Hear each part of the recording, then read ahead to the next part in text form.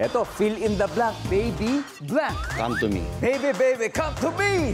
Baby Ama. Ang pagbabalik ni Baby Ama! Kung ano yung Of top course. of mind, yun talaga yung madalas lumalabas eh. Ang hirap naman nun! Basta kasama ang pamilya, todo ang saya sa panghuhula. Anong masama ang pwedeng mangyari sa assistant ng isang magician? Maputo lang kamay. Matalisod.